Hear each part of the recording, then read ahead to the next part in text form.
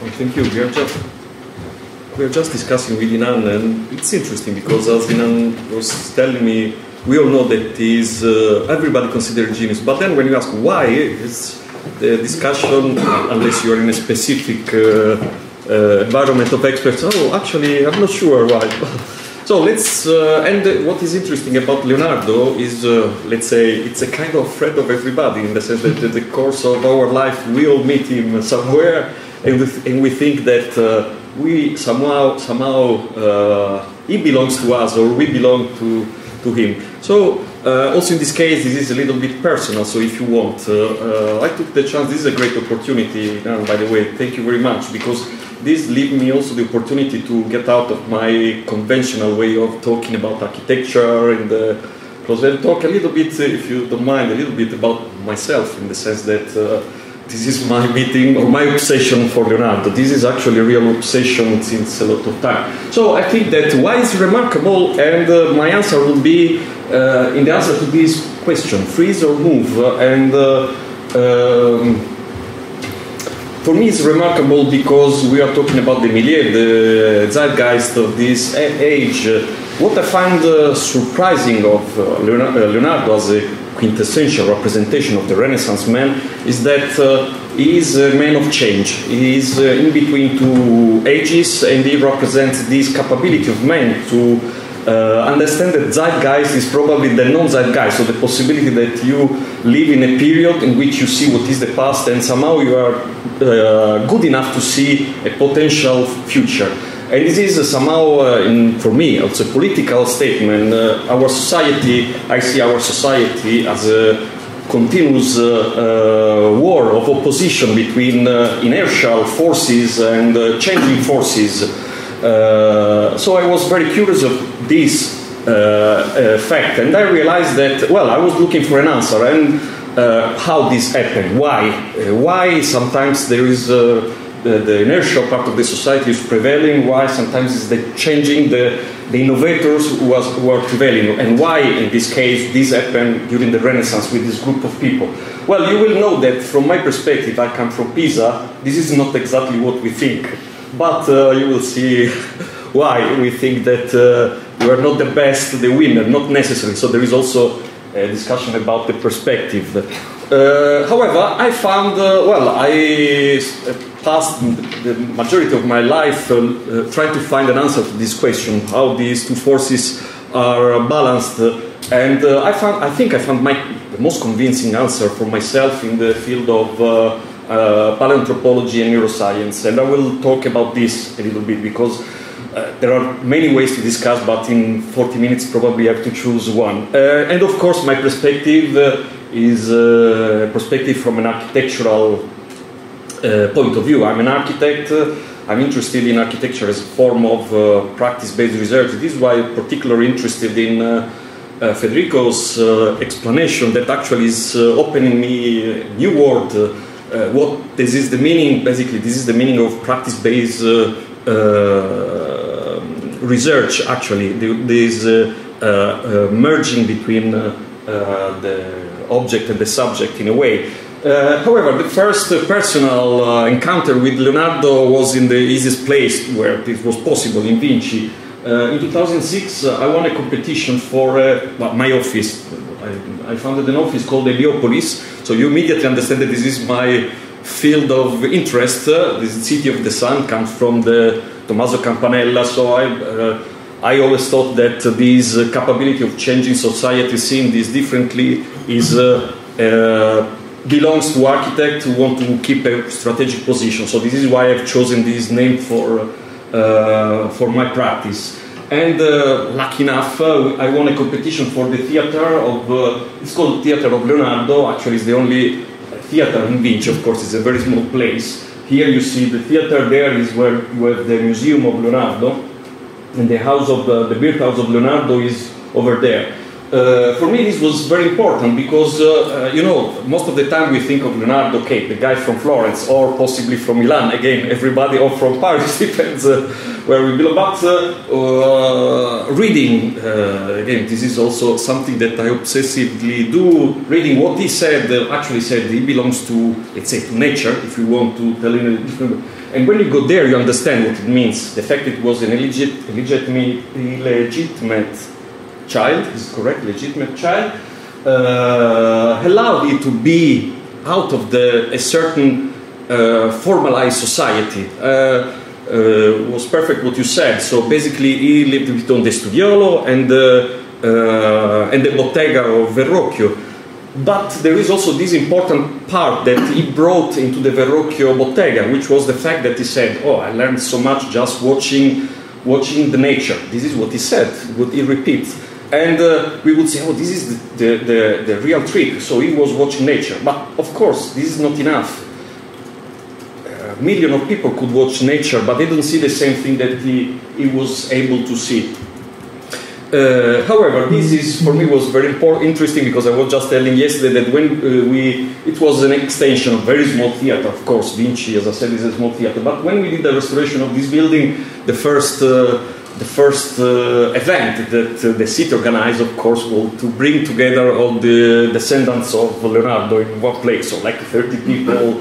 And uh, so I discovered that Leonardo has even kind of descendants. And they also made a DNA test to be sure. By the way, by the way, this is interesting because you are uh, interested in cinema, and officially I thought that it was uh, an invention. Uh, Franco Zeffirelli is one of these 30 people. So uh, very famous uh, uh, director for those who don't know from Florence in Italy. Is one of the so you know already this the second uh, element of encounter with Leonardo was, uh, of course, his machines, and this is another obsession for architect. And uh, helicopter is a recurring element in uh, our architecture because uh, this is uh, more linked to what Unicol are doing because we find a lot of potential in this shape studying that Leonardo was doing uh, repeatedly. So the performance that we find in this shape was going even beyond the, the idea of a flying helicopter. So obsessed by this that in 2009 we won another competition in Perugia and we we did this based, this idea based on very shallow, like the architect do, so taking very symbolically the idea of the helicopter of Leonardo, but we realized there is uh, uh, helicopter, our helico interpretation of Leonardo's helicopter for the, this is a, um, um, we call energy roof, is a canopy, is a gallery for the town center of Perugia here. Uh, so we wanted to test this, uh, the performance of the shape. So this is, uh, by the way, uh, similar to what you showed us, uh, developed using a specific script to, for the adaptation to the climate. And we also bothered very much the structural engineer because we said we want to do like Leonardo. So one point in the center, 80 meters, uh, Bollinger and Grohmann, I don't know if you don't know them, they are structural engineers from uh, Germany. Uh, but uh, the third encounter, but this is the first one actually in the history, so it has nothing to do with the professional activity. These are all to do with the, my initial, uh, even though I'm considered a technologist, actually I graduated in history of architecture at the University of Florence. So my, and there's uh, my uh, thesis, and then my first uh, publications were about uh, the history of this part of Tuscany, the architectural history of this part of Tuscany. And it's very interesting to notice how the history that we read in the more uh, well-known books is different from the, little, the, the, reading of the, what happened during the Renaissance in the local society. So uh, this I find a, a, problem with myself. The, my obsession for Leonardo is uh, uh, not accepted by my uh, Pisan soul. This is the uh, Triumph of Death by Buffalmacco, which is uh, probably one of the masterpieces of the painting of the Middle Age, and this is uh, uh, displayed in the cemetery of Pisa, the monumental cemetery of Pisa. And in a way, this is considered, especially for British culture, so this was highly influential for, it seems that even Beckford and Walpole have been highly influenced in the, let's say, invention of the um, uh, uh, romantic perspective of the world. They've been highly influenced by this uh, painting. Uh, this is a painting that, from a so, sociological point of view, is a kind of considered representation of the middle 14th century society a perfect photography of this society, their values, uh, the, their relationship with the life, with the resources of the place, but especially with death. Uh, so this is the war that was representing the what could consider at the time the highest uh, uh military army uh, power of, let's say, the south of Europe, which was Pisa, and Florence was the main enemy for a long period. This was the, the condition uh, here you see a, a clear, I mean, I just wanted to take this as a representation of what we always describe as typical or pro, paradigmatic of the culture of the mid 14th uh, century. So you can see uh, devils uh, extracting souls from the from the dead people. this is the context where this takes place in the side of the of the cemetery. This is very strong imaginary, even though, if, according to some Italian uh, historian, this idea of this, uh, uh, let's say, Gothic uh, Middle Age is not uh, necessarily the reality, according to, for example, Alessandro Barbero, one Italian historian. Nevertheless, uh, there is a sort of how can I say, imaginary that is strongly related. This is on the other side of the triumph of death. This is the um, representation of uh, Lucifer. So this is the representation of uh, Inferno on the other side, and of course this is the imaginary. So what we are saying is that what is the change of culture from this perspective to this perspective? So it's clearly something happened, and we know what the, what this happened. But of course we give a reading of this uh, transformation. So from this world to this uh, this world, and it's immediately clear. Okay, we uh, we don't have to give explanation. Of course, we, uh, we from uh, the perspective of the winner, so the Renaissance man, we see this as a representation of the future, of the light, etc. Uh, uh, opposite to the other one. Well, uh, for, this is not, the, as you can imagine, this is not the perspective from the Pisa culture. They see that actually this is the, the, the, the victory of the oligarchic Florence against the Republic of Pisa. So there is a, a, different discussion. However, it's always uh, uh, high, highly relevant, this passage, to describe also the power of architecture in a way. Yesterday, right, with uh, Federico and Ingrid, I was discussing about this uh, when uh, uh, finally, after a couple of centuries and, of propaganda done also by Dante, they finally conquered Pisa it was very interesting to notice that uh, the Medici decided to put at the forefront of the army, not uh, soldiers. Well, physically maybe they were there, but I mean, this was not important thing. They put at the forefront of the, their army the engineers, the architects. So the first one was there. The first man that came with the, with the soldier was Brunelleschi.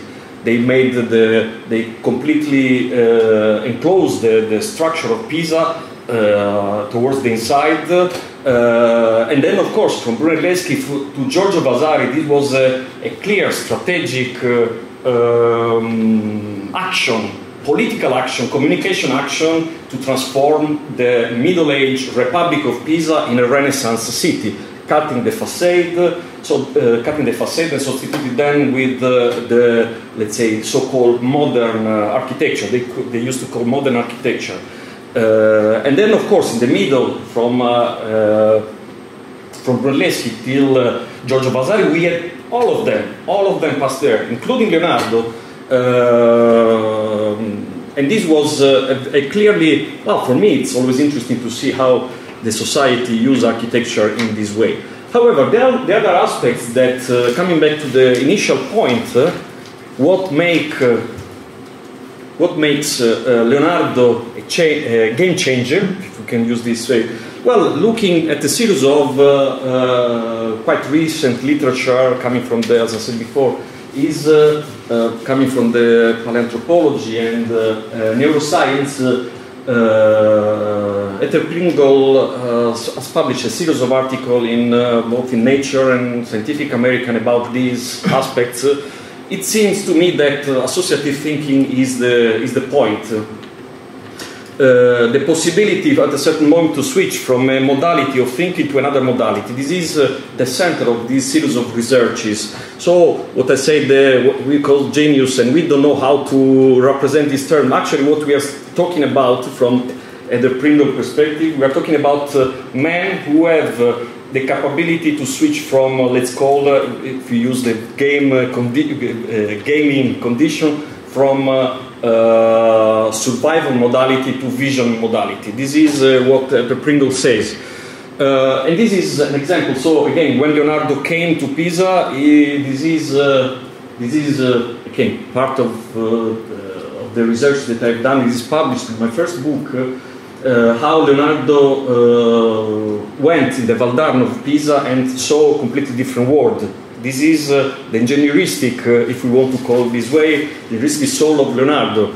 It was very interesting in that time. This was the period in which uh, uh water management was his uh, uh, focus, and he decided that he could redevelop the Valdarno, changing the flow of the Arno River. Even more, he was the one who was uh, in charge of using the Arno River to cut out Pisa so as you can see, uh, Florence was using the different knowledge, these different people to do different things. So the, the as I said before, uh, Filippo Brunelleschi was working on the fortress, uh, Sangallo was working on uh, a series of representative building and other fortresses. Leonardo was in charge, this of course was much later, but he was in charge of uh, studying how using the hydraulic system to uh, make a bypass and cut out Pisa from the possibility of uh, controlling the water. Uh, as I said, this is the article, uh, the, uh, one of the several articles, but for me is, uh, let's say, the reference that I'm using in this presentation. Basically, the Pringle works in the, from a paleoanthropological perspective in the how creativity was born. And it's interesting to notice, and we know we have this discussion that the creativity until 10 years ago, we all thought it was born 40,000 years ago, in a very precise moment, which is the moment, and I find this fascinating, this is the moment in which, uh, for the first time, we saw people putting the hand on the rock and painting the hand. So this is perfect. this condition of uh, what you said before, where the, there is a merging, there is no distance, or if, or maybe a distance. I don't know. Maybe I misinterpreted. But uh, the art, uh, according to the paleoanthropologists, is this moment in which they start touching the rock, starting using the rock, representing things. And uh, I, I tell this not very scientifically. But and the other point is why they were doing this and uh, they said the uh, paleoanthropologist, or let's say the neurologist, discovered that the answer no reason.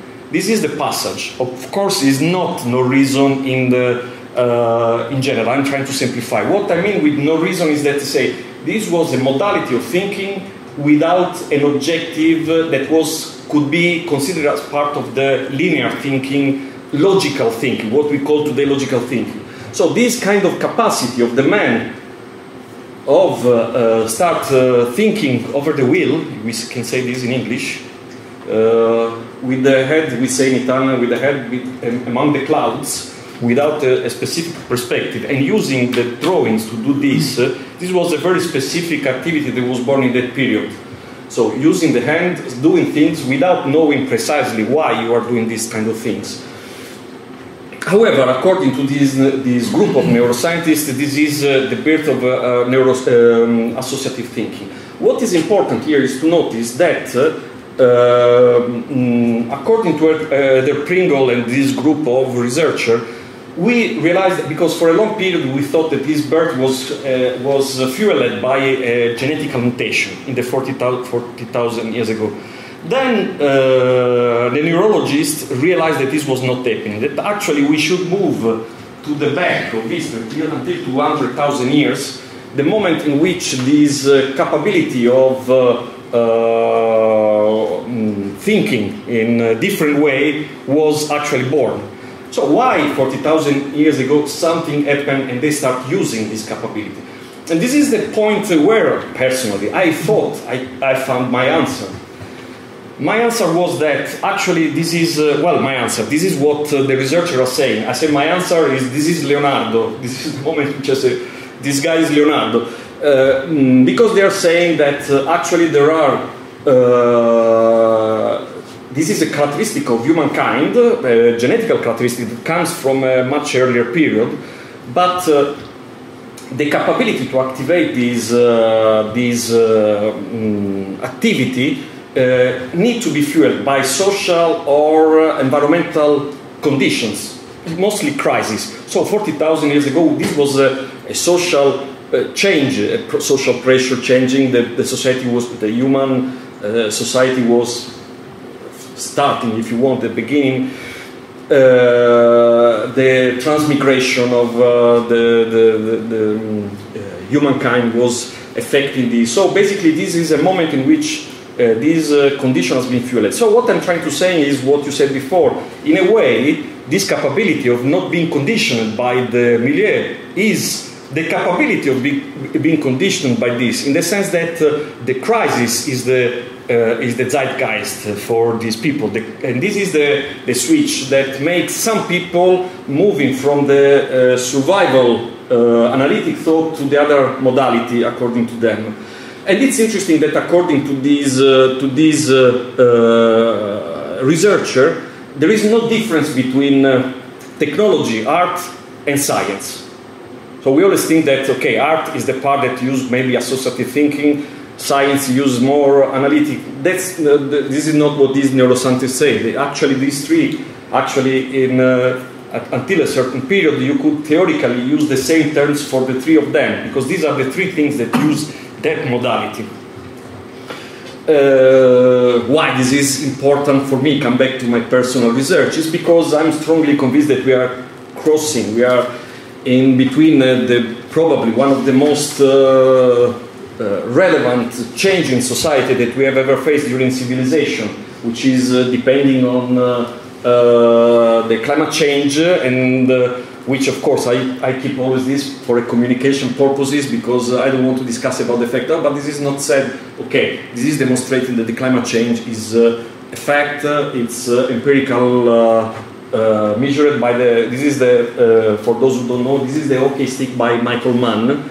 And uh, until the first uh, release of, uh, uh, after the first release of this, we, as far as I know, have never seen any article, peer-reviewed scientific article, denying this, this fact. And of course, this is the second answer, the second question that always comes when I talk about these things. Yes, but this is not what architects do. We are not this is a problem of industry, etc., etc. Well, as we know uh, today, actually the way we do architecture, especially the way we design cities, the major uh, threat to, to the environment. So uh, I find always difficult for architects to say no. I want. Uh, I, I, well, I don't want to deal with this. Yes, of course, this is uh, this is part of the, the personal uh, uh, interest. But uh, to say, oh, we have no nothing to do about this, I find this uh, tricky because I feel that uh, in this context I'm uh, guilty. I'm not. I'm, I cannot neglect that is, we are part of the problem. However, uh, the reason why I think this modality is very interesting, and this is why what I'm interested in this. I'm interested in the transdisciplinary potential of architecture, the possibility of using this discipline to link the dots between other disciplines, the possibility of architect to move back to a strategic position, which has to do a lot with the etymology of the term of architecture that maybe I can briefly uh, uh, rise in, for the moment. But First, we were talking about the equation, but of course this is just a metaphor. It is not uh, mathematician will uh, refer to this definition. But uh, just to clarify, the point is that uh, if uh, the uh, basic condition we are discussing, climate change, are true, and if the consequences, the optimistic consequences, are real, we already know that we will have within 2050 increase of 20% of the population and uh, the need of 20% more of the productive soil and uh, uh, we need that actually we, we know that actually we are in the opposite situation we have a, a decrease of the productive soil according to the uh, desertification and sea level rise phenomenon and feedback phenomenon associated to this. So it's a possible equation. So we are saying we have more person to feed. Already today we have one billion people living under the level of nutrition, and uh, we will have less space to produce food for feed them.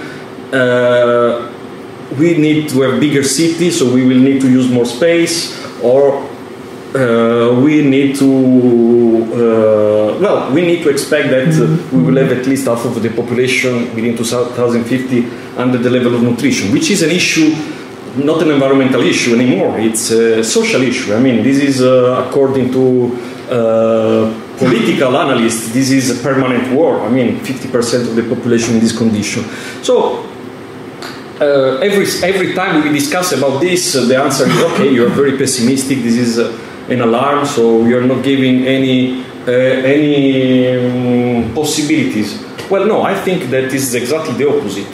This is a, a huge opportunity that we have, because uh, the problem is that we are seeing this in the survival mode, not in the not using associative thinking. This is exactly what happened in the 14th century we call the crisis of 14th century. I don't know if the translation from Italian is correct. We call the mm-hmm. crisis of 14th century is existing this uh, term. Crisis of 14th century. What we've been taught at school is that in the mid of the 14th century we have uh, we achieve uh, we uh, arrive to a saturation of the productivity of the food in the Europe. We have a number that we clearly say for the first time in Europe, you see people, there are a lot of uh, chronicle about this, we see people dying in the street because of the lack of food. We have uh, uh, information, we have information, we have traces of people trying to cultivate uh, in Italy, for example, beyond uh, uh, 2,000 meters of altitude with the level of productivity very low. So we are talking about a, a period of huge crisis and no exit, no exit. Uh, we also have a climate, uh, a climate uh, crisis, the opposite of what we have today. We call mini glaciazione, mini, oh, sorry, ice age. Okay. And uh, uh, the third point, which seems the only one that doesn't fit with the, today's, uh, today's condition, is the spread of an unknown disease that comes and kill half of the uh, European population, and we don't know how to deal this. On one side, we thought that this was the solution. There are, if you watch all this uh, uh, book of historians, they say, oh, this was the possibility to feed more people. But again, according to Barbero or other Italian historian, they this is not absolutely true. What happened is true that there was a change in society, but the big crisis, what did the big crisis was to change the society from uh, from scratch and bring new forces uh, able to change completely society. This is the society of the Renaissance.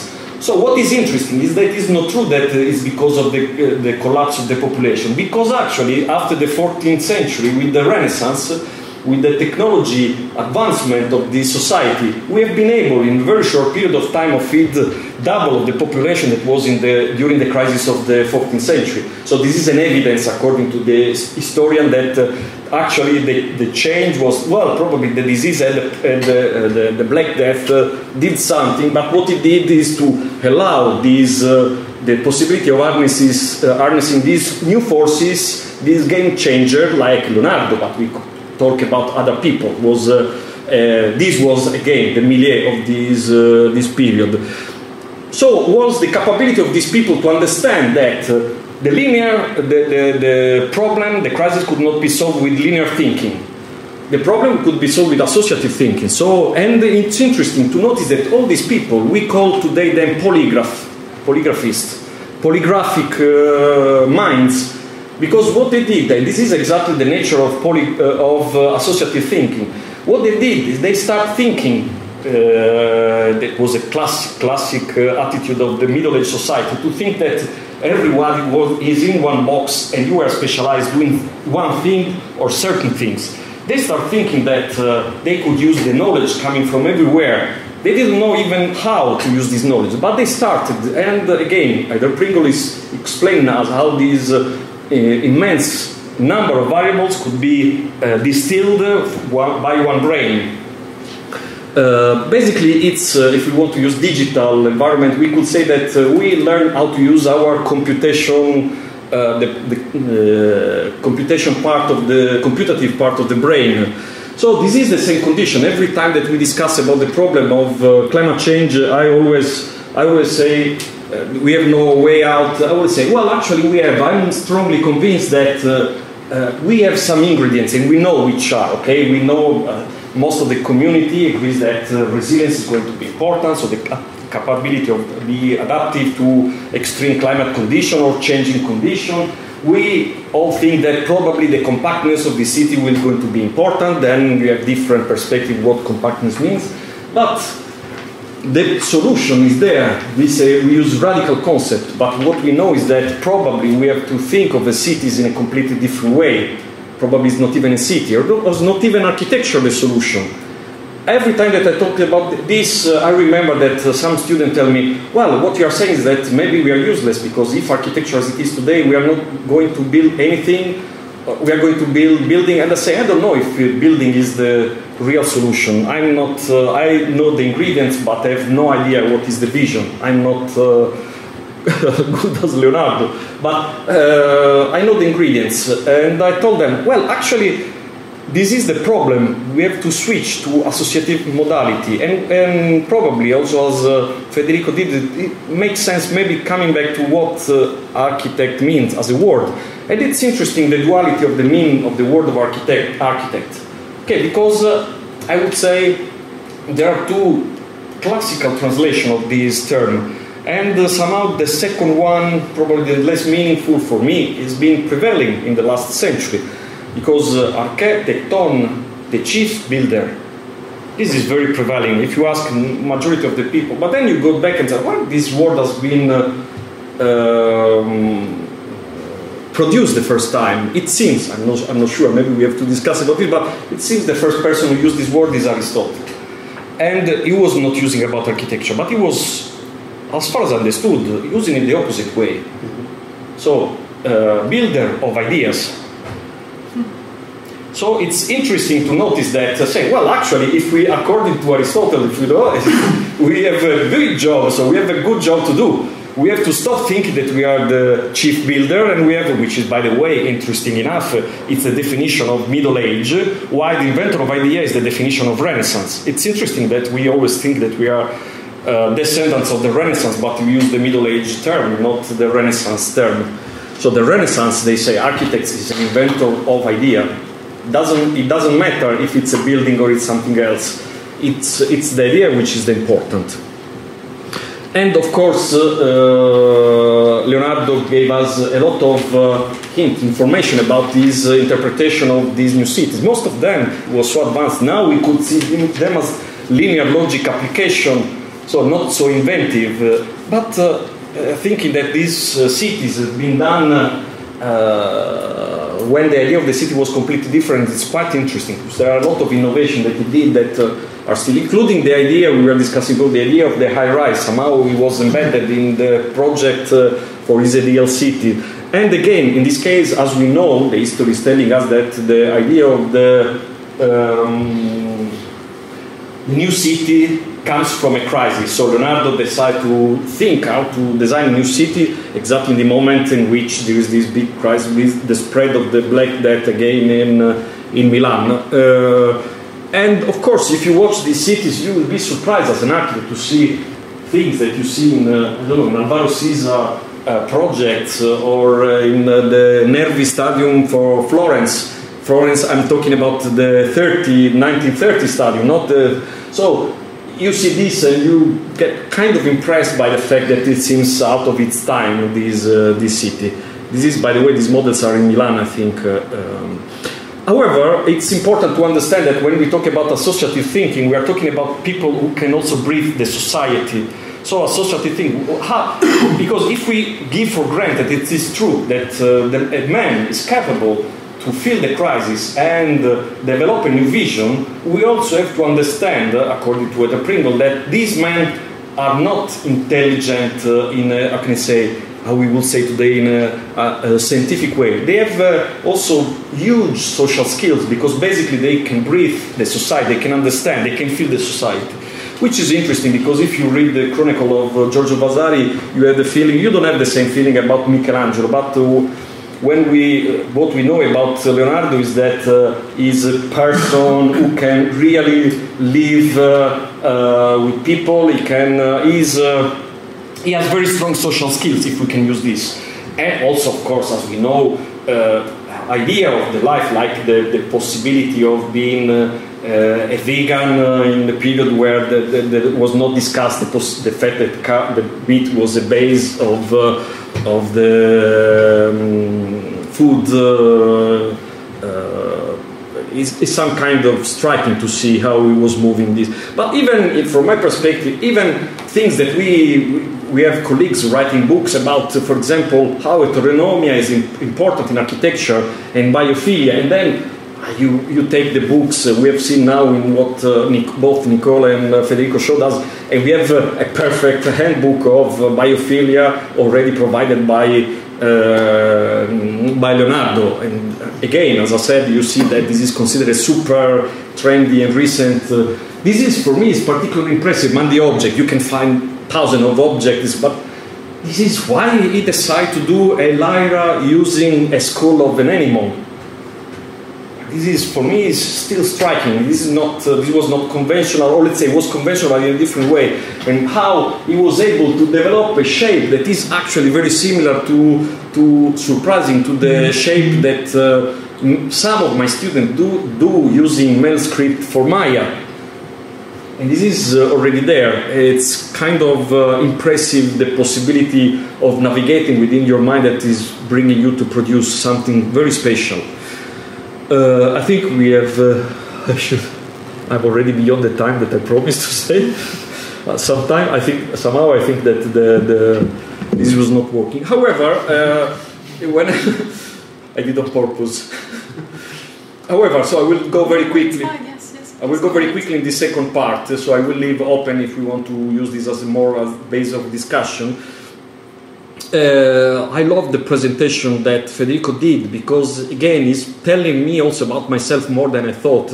Because for a certain period, I was trying to explore this idea of, uh, of uh, my relationship uh, with associative thinking. Well, basically, I became obsessed at reading this article how I could activate uh, this associative thinking. I understood that in the moment I think I want to activate this, this is the last moment this is going to happen. But I also understand that uh, drawing has this capability to somehow uh, bring you out of your uh, logic, uh, let's say, condition. So I started developing a series of drawing, trying to simulate the chaotic uh, way of drawing of uh, um, Leonardo. And this is a series of drawing that I've published in, in different occasions. But what I find interesting or non-interesting, this is a confession every time that I published them, I gave a completely different explanation, and I felt a little bit guilty. So if you check out this article, I said this is a different. Now I know the reason. Actually, I don't know why I did this. Uh, I don't know. I was uh, probably an anonymous. Uh, and uh, there are series, but all of them they are just uh, uh, how can I say dragged by these basically the only thing that is uh, uh, the level of awareness of this drawing is only based on the equation I told you before. So the only thing that was that was uh, fueling this drawing it was okay. The space uh, is not possible. The number of people is growing. The need of for so these in not I don't know in which ways, but this is a series of drawings that is related to these uh, conditions. Uh, and of course, this was not only for myself, but because I was starting, I, I started becoming interested in the pedagogic uh, forces that you can activate there. Because my point, my problem, and this is when uh, I came to UK and they asked me to do my, you probably know, the HEA fellowship. Uh, I said, okay, this is the time that I can spend my time doing this thing. Because my point was, if it's true what I'm saying, so if I'm part of the old society, I'm not, I cannot be I cannot be Leonardo. How can I help? Uh, because when you admit that you are not uh, not a genius. How can how can uh, uh, can you do to help people to discover their Leonardiness? Uh, so this become kind of my obsession as an educator. And I said, okay, how to develop uh, a technique to stimulate students. And this is also what I really tell very open to my students. I say, look, guys, I'm your enemy. I'm the dinosaur you are the new one. So I cannot tell you something because I'm the, this part of these guys who built uh, for 100 years the cities that are putting you under threat. So my role here is more to give you the ingredients because I understand the ingredients, but yours is the vision. You have to produce the vision. You have to think about this. So I start uh, working. This is I published this one uh, in uh, for the Roma Festival. Is the correspondent to Italian RIBA, and this was a course about using Rome as a field of uh, discovery for the student uh, of my master student, uh, and we have done a series of uh, tests, and we brought to, to Rome uh, for an exhibition this. Uh, the second aspect was I, I, I, thought, well, maybe the problem is the perception these people, associative thinking, are good in doing the perception because we know that at the end, in the game, and stuff from Pisa, this is a very famous painting that you can find in Pisa. What is the difference between these two? We know, we all know, okay, the passage from uh, individual perspective of, uh, uh, of uh, the environment, of the Middle Age, in which, of course, you have two dimensions that you use to define a hierarchical system, so the tower, the height, until we arrive to a completely different perception of the environment, which is mostly based on the on the on the um, central perspective. And again, we until today this is a chicken egg question. It's more before the idea of the city came, and then the perspective of the perspective developed, uh, produced, an, uh, which I think is the the, the, the, the new perception of the world, produced different cities. And of course, with the student, this is something recurring. So I always try to ask the student uh, to think, to try to think, or try not to think, because we are talking about associative thinking, how to uh, implement their capability of create uh, uh, new perception of the world. And I always, of course, we discuss about. Uh, I don't know the cubic cubism, the idea of thinking of the object in time and place, or this is a classic image that I showed when we saw the three uh, points perspective. Uh, how do you call the prospettiva in fuga? We call exit perspective, uh, typical of uh, I don't know the futurism or other places with the Crali, very famous Crali view of the city from uh, the cockpit. So the possibility to create this this uh, possibility. And uh, I, I, take here as one of example the project done by Liam Stambles, by the way, because you met him yesterday. And uh, among the several exercises, maybe I do only this one, and then uh, uh, I found interesting this one, particularly this one. We have several exercises done, so it's not about not only about the contents of the thesis, not only this is a master thesis, not only about the contents of the thesis, the aims, but also how to uh, develop a new perception, way you to produce the, the, the, the, visualization of your work. And in this case, uh, the discussion was uh, well was very quite linear, if you want, so not very associative. Say, okay, maybe it's uh, the the perception is uh, can be developed according to uh, increase of uh, point of perspective. So from one to three and uh, to infinite. So this is this is an, an, experiment done by the student using an infinite number of exit or let's say perspective points this is not absolute, uh, absolutely true because at the end, for technical reason, this is 60, uh, 60 perspective with three point each, so it's actually 160. I don't remember. Oh, well, however, three, uh, 180, I think. Uh, but this has been developed using agent-based modeling because, of course, it was not. And then developing these things, how can I show this? Because uh, at the end, of producing this, as you can see, if you use the same, uh, basically is developed using the movement of the head. And again, I say, do what Leonardo could do. And then we start thinking that this could be today, not the central perspective. This could be a possibility. And, uh, and it's interesting because then we start discussing that according to Leonardo, this is not only enough to have the, this is this is why I'm saying for me it's not chicken egg, is first perspective and then the city. Because uh, what happened is that the students was then obliged to build a machine to allow the perspective to be seen in reality. And the machine was built like this, so it became a big work for him. Then he has to develop the node, the joint. So he worked very hard. Uh, 3D printing, by the way, the technology that he was to use. This is uh, Liam doing his job.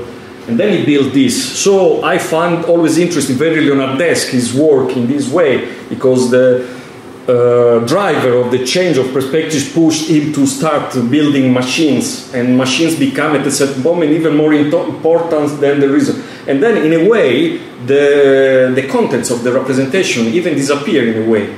This is exactly what we say when we say the Gioconda. We say, oh, we all know that he was trying not only to represent uh, this person, but he was also using this as a tool to show his idea of what was happening in the background, the nuances of the uh, atmospheric event, the uh, perspective on the left, which is different from the right, and so on.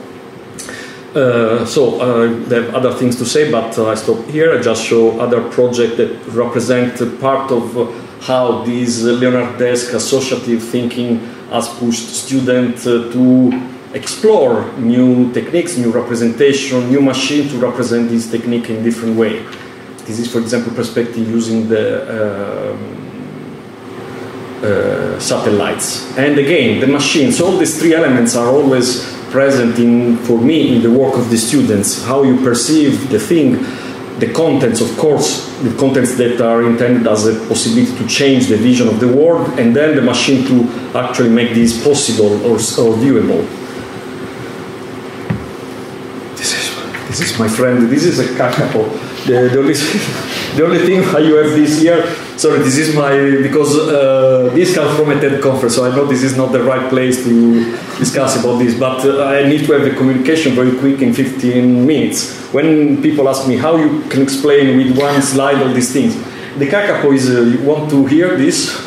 Yes, yes. Now we, we always want to hear about kakapo. it was your dream since. Yeah. no. As, as, soon as they announced this, I thought, this is going to be the Kakapo moment.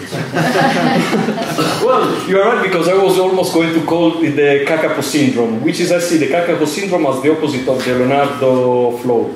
So Leonardo flow is the positive, the Kakapo syndrome is, uh, as I said, the society of game changer, the Leonardo flow, and Kakapo syndrome is this one. The Kakapo is, uh, I've been living in for years, for years in New Zealand, and there you know, they didn't see human being until the 13th century, and no human beings with the rifle until the 18th century. So the environment is almost uh, like a Garden of Eden, and especially uh, we have these kind of uh, birds that uh, never learn to fly. They didn't have, uh, they don't have predators. So the kakapo is, for me, is the most interesting about these uh, weta, um, kiwi, etc. The kakapo is the most interesting because he move is very big and move a little bit like this. And when he needs to reproduce his so when he wants to find the, uh, or meet a, a kakapo girl, he goes in the top of the volcanoes in uh, New Zealand, full of volcanoes, and they start shouting uh, until calling the kakapo, kakapa. I don't know if it's. in Italian.